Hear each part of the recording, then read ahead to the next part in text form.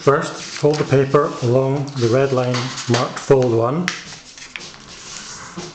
and then unfold it again. Now fold along fold 2, which is the blue one, and leave it folded, and do the same along fold 3.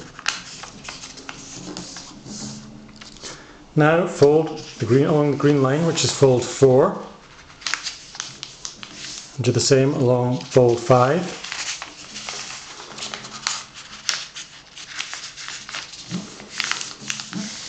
At this point, fold it in half along fold 1 again and look for the one that's marked fold 6. Now fold the line down along line, fold 6, turn it over and do the same along fold 7. This creates the wings. You now have your paper aeroplane.